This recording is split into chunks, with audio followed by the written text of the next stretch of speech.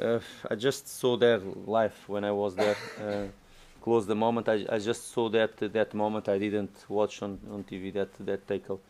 I think it's not important. My opinion about the the, the tackle um, will not change nothing. Uh, what I will tell you, because I have to to fair to be fair with him as well. Of course, was a, a strong tackle, but I'm 100% sure Son when he did that, he didn't do with the intention to to to do something bad to Andre. Um, Son is a we are talking about two fantastic football players, um, Andre Gomes and Son. And Son, when he, he made that tackle, for sure, is not with intention to make something uh, bad to, to Andre Gomes. And I just had a, a, quick conversation with them. I just uh, gave, um, and it, I talked to them about the, the team spirit we have showed um, after that moment, and nothing more. Uh, it's a moment to give support to them. The the mood was really, and our dressing room was sad uh, in that moment. And um, of course, uh, Seamus Coleman had the, the, the, reaction normally he has as a captain. Um, and all of us, you know, um,